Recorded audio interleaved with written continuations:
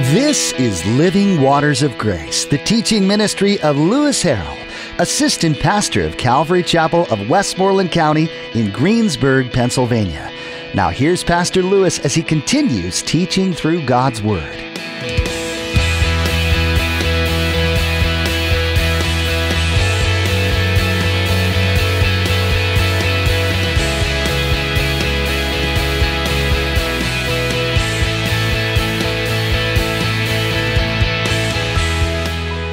Need to be reminded so that we don't forget these things. And this is what Peter was concerned about. He was concerned that if we don't remind you, you might forget these things. And when you forget these things, then you become vulnerable to bad teaching.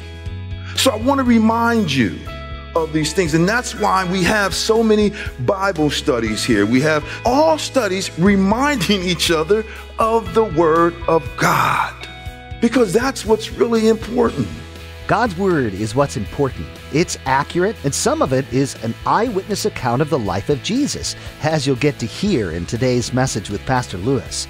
The Word of God is alive and active and can change your heart and anyone else's as you spend more time in it, growing in your relationship with God. As you grow, you're also called to tell others about the same hope for eternity that you have, so they can experience it too. But it all starts with spending time alone with God in His Word. Now here's Pastor Lewis in 2 Peter chapter 1 with today's edition of Living Waters of Grace. As we pick it up in the first chapter of 2 Peter, we pick it up in verse 12. I'm going to first read from 12 to 15, and then we're going to go back and make comment. And it just simply says this for this reason, I will not be negligent to remind you always of these things, though you know and are established in the present truth. Yes, I think it is right, as long as I am in this tent, to stir you up by reminding you, knowing that shortly I must put off my tent, just as our Lord Jesus Christ showed me. Moreover, I will be careful to ensure that you always have a reminder of these things after my decease. So we have Peter here who is speaking once again to a dispersed church. People are dispersed everywhere because of heavy persecution. They have been run out of their homelands and they're seeking refuge, asylum, in other places where they can practice their faith without persecution, without oppression. And Peter is writing to them because he is encouraging them, even during this time of heavy persecution, which he himself is also dealing with and also in the midst of. So he starts off here where he says, For this reason, I will not be negligent to remind you always of these things. So, what things is Peter talking about? What things is it that he's reminding these believers of? And in order to see that, we have to go back and we go back to 2 Peter chapter 1 and we look at verse 5. And verse 5 through 9 gives us a snapshot of what it was that he's talking about that he wants to remind them of. First of all, he wants to remind them that when they were converted, and this goes back even to verse 2, before verse 5 started, he reminds them that when they were converted, that he was, they were converted by the divine power of God who gave them all things that pertain to life and godliness.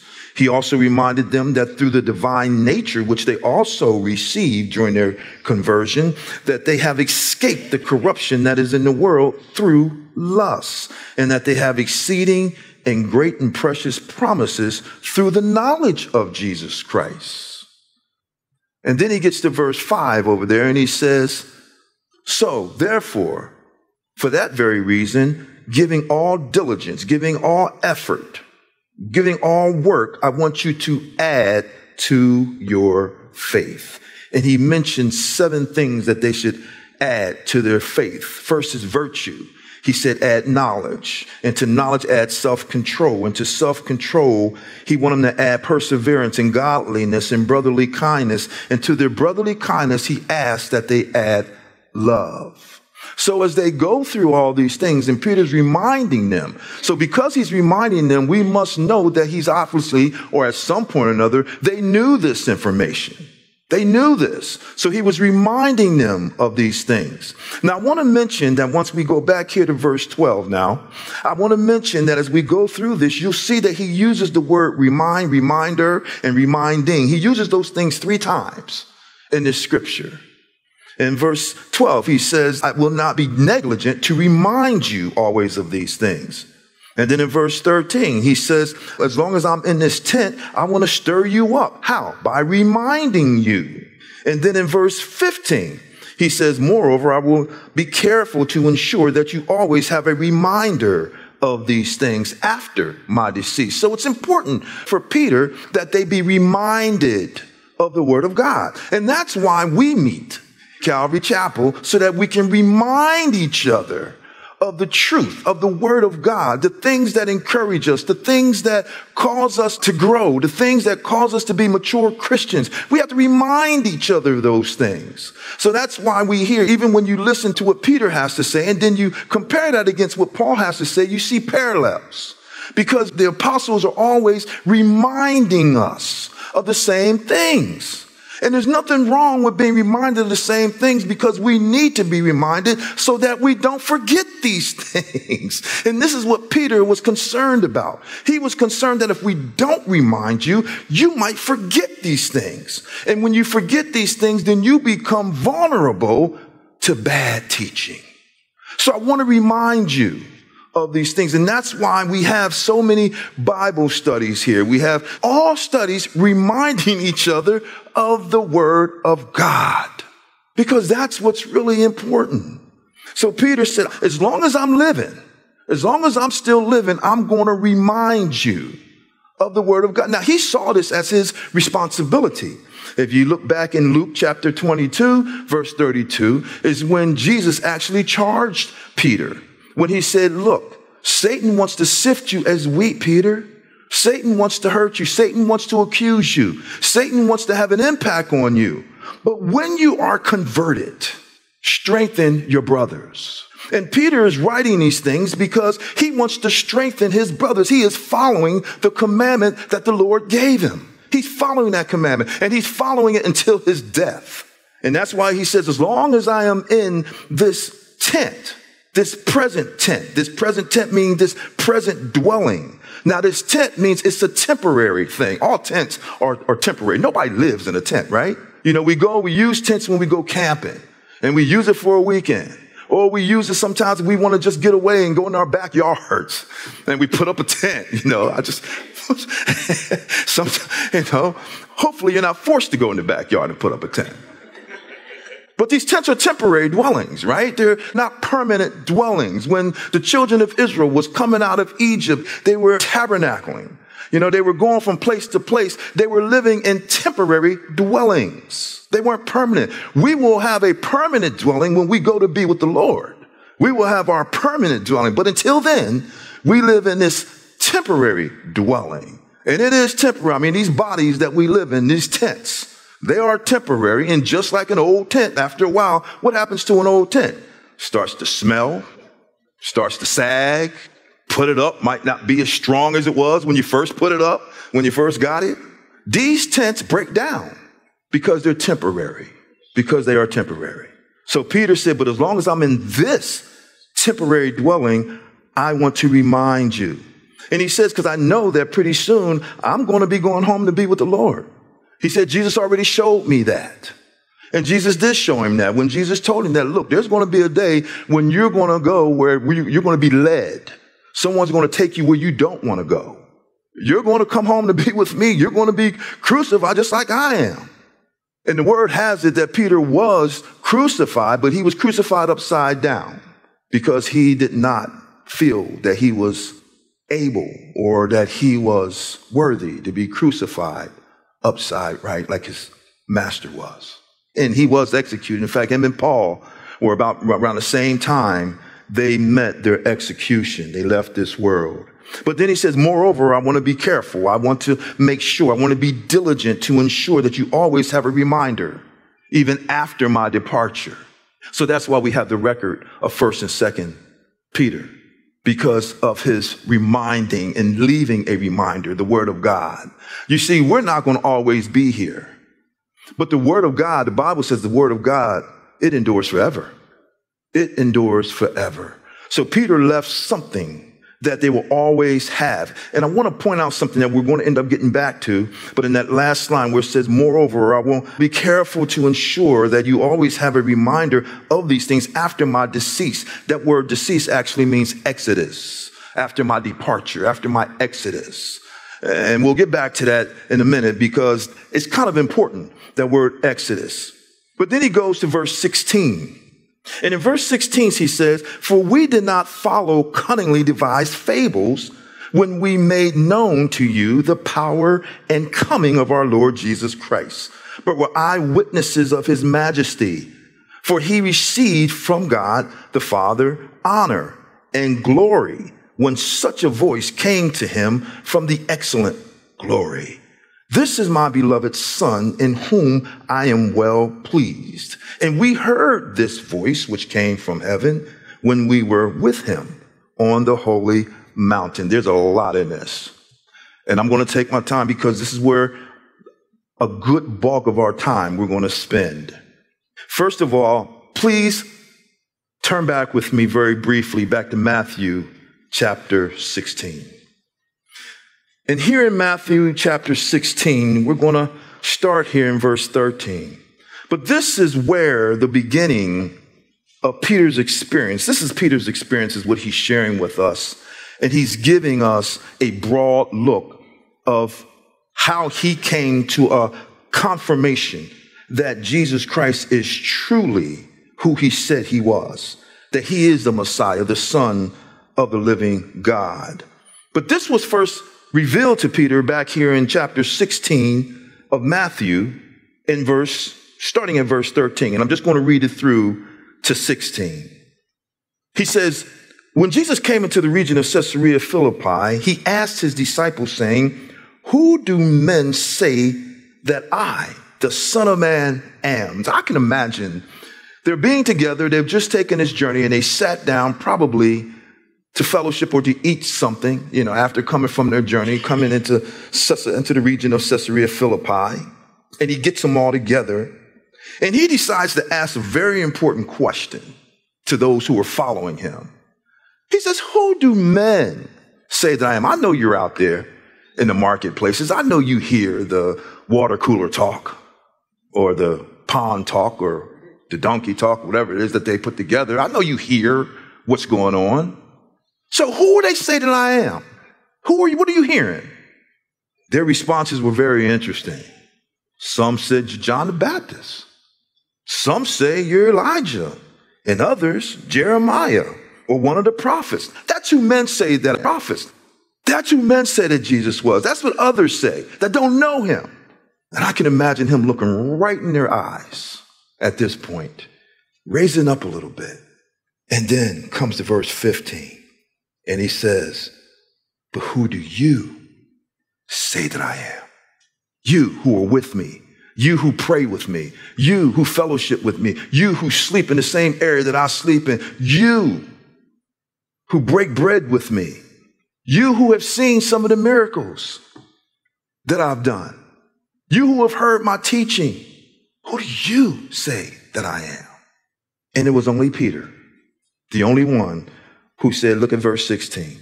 Only Simon Peter said, You are the Christ, the Son of the living God. And, and notice Jesus' response here. I find this interesting. Jesus' response was not, Well done, Peter. What's wrong with the rest of y'all? How come the rest of y'all didn't know that? That wasn't his response. His response was this Blessed are you, Simon Barjona, for flesh and blood has not revealed this to you, but my Father who is in heaven. Jesus recognized that even though they were all with him, even though they were all under his teaching and all under and saw all of his miracles, Jesus realized that Peter was the one that the Father revealed who Jesus Christ is. Peter is. How many of you ever thought, out of all the people that I know, all the people that I hang out with, that I used to hang out with, all the people that I, all the people in my family, People who are much more intelligent, much brighter, much better than I am. How come I'm the one that recognize who Jesus Christ is? How come I'm the one that Jesus, that, that God revealed his son to? And that's exactly what Peter is. Peter is in this place. Look, Peter was a, he was, you know, cussing Peter, ear cutting Peter.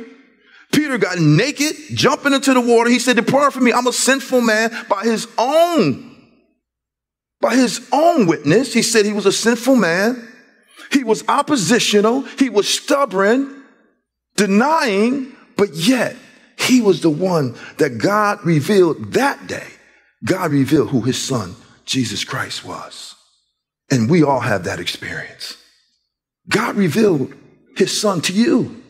Regardless of who it was that you grew up with, regardless of who you've been around, God revealed it to you. Two people can come and sit in a sermon and hear the word of God, and only one will God reveal sometimes. Only one of them will be revealed the truth that God is speaking through that word that changes the life of somebody who comes in. Maybe today, God will speak and reveal his son to somebody in here today. I pray he does. I pray he does. So that day he revealed himself to Peter. But let's go on because now we get back. Now we get back to Second Peter, verse 16. And Peter now begins to address some of this because he says, okay, that stuck in the back of his mind what was revealed to him that day. I'm sure that was in the back of his mind. So now he's writing to these dispersed believers. And it must have been a situation where they were beginning to question whether the word of God was authentic or whether these fables. I'm sure people were feeding them those things. Why do you listen to that mess? Oh, those are just made up stories. Those are just myths. Those are just fables. Those are wise tales. Why do you listen to that? You're too intelligent. I used to, I used to hear people tell me when I would talk to them about, about the Lord, they would say, Do you really believe that? You're too intelligent to believe something like that. And that told me right there, they didn't really know me. No one ever accused me of being too intelligent to do anything. I'm just being real. But people want to see these as fables. These are, these are wise tales. And still today, people question the word of God. They question whether it's legit. They question its authenticity. They question the source. Still today, people want to say that these are cunningly devised fables. These are wise tales. These are just made up stories.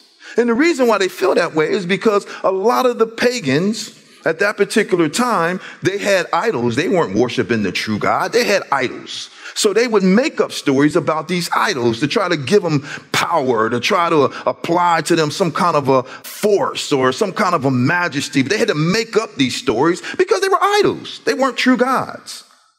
So, they, so even some of the believers at some point that were becoming false teachers, they would start making up these false stories and these myths about the word of God, saying that it's not all true. It's, you know, these are just made up. Man made these things up in the, in the figment of their imaginations. And Peter's saying to you, for we did not follow cunningly devised fables when we made known to you the power and coming of our Lord Jesus Christ, but we were eyewitnesses of his majesty.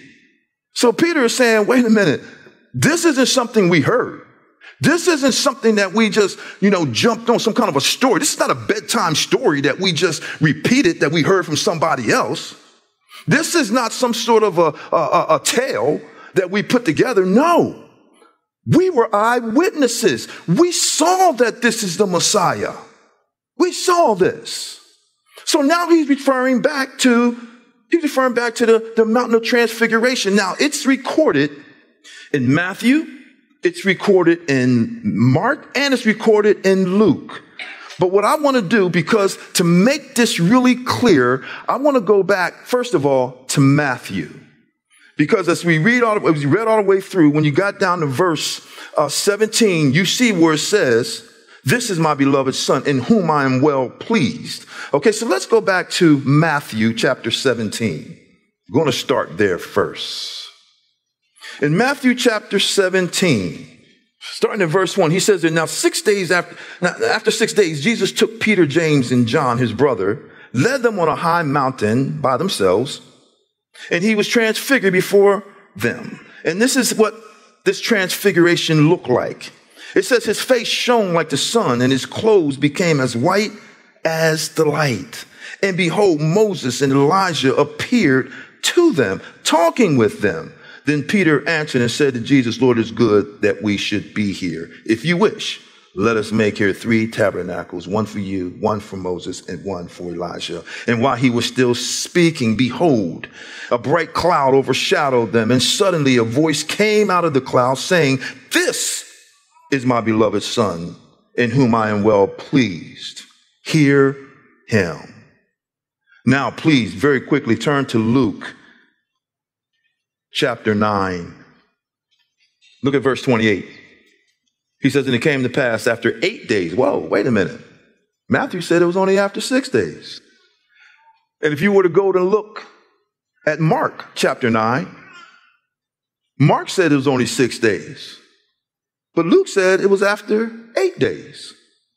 What was after eight days? After Jesus had mentioned to all of his disciples that surely there's some of you who are standing here who will not taste death until you see the Son of Man coming in the kingdom of God. So he said, Well, okay, so wait a minute. Matthew said it was six days afterwards. Mark said it was six days afterwards. But Luke said it was eight days afterwards. Now, the reason why I bring that up is because, see, some people will try at that point to try to make it sound like it's a discrepancy, to try to make a big deal out of this issue. But they all say that he was transfigured. All of them say he was transfigured. Matthew, Mark, and Luke all record that Jesus was transfigured. Now, I don't know about you, but if I have somebody I love that was in a burning building, and someone told me that he was saved out of that burning building by someone who just happened to pass by, I don't care if three people tell me, well, one person tells me, well, you know, well, he saved him out of that burning building on his way out of town. Well, no, no, no. Second one come and say, well, no, he, he saved him out of this burning building while he was on his way into town. I don't care when he saved him. I don't care if they saved him on the way into town or saved him on the way out. I just care about the fact that he saved him. That's all I want to hear. And this is what we need to understand about the truth of the scriptures. Look, that's what makes the scriptures so authentic. There may be things like that where you can ask people about a story, and we can ask people and hear about a story, something that happened 10 minutes ago that everybody witnessed. You're going to get different accounts of what happened. But the main thing will remain the same. The main thing will remain the same. You may hear Lewis pounding on the couch, right? You may hear that. Some everybody may say to you, boy, Lewis was in there pounding on that desk. Somebody gonna say, well, he pounded on the desk when he first got up to speak. Somebody, somebody say he pounded on the desk right before he got ready to leave. Somebody might say, well, he pounded on the desk when he was talking. It doesn't matter. The fact is, is that everybody saw that Lewis pounded on the desk. Let's not get into quarrels and discrepancies and battles over small things that are not really significant. Jesus was transformed on that mountain. Everybody saw his glory on that mountain. On that mountain, Peter, and not only Peter, and we're going to get into that in a second, not only Peter, they saw their teacher, their master, their Lord. They saw his glory of what he was in heaven on that mountain. In a world and a nation that's perpetually divided, a year like this one is no stranger to division within the church as well. In today's message, Pastor Lewis touched on themes in 1st and 2nd Peter where the author knew that there was a tendency to divide about things that were not as important as the gospel message. He urged new believers to stay grounded and rooted in the Word and to what was true and knowledgeable. This takes a level of spiritual maturity that you have to be all in in order to do. Maybe something you heard today has sparked something within you, convicting you, inspiring you, just even a friendly reminder of what God's called you to. Don't lose sight of the most important thing in following Jesus being an example of Christ and encouraging others to enter into that. If you're unsure what some of this even means, we'd like to refer you to our website, calvarychapelonline.com. There you'll find an About tab that will walk you through what we as a church believe to be true from Scripture. If you have further questions, feel free to fill out a contact form by going to the Contact Us tab and clicking on the link. You can even fill out a prayer request form too. It's so helpful for us to know where our listeners are at in their spiritual walk with God. Peter was a great example of someone who was devoted to following Jesus, but he had his moments where his faith faltered, like all of us. Peter's example should give you hope that there's redemption and restoration of relationship with Jesus, even if you mess up. You'll be looking forward to the next edition here in 1st and 2nd Peter, so join us again on Living Waters of Grace.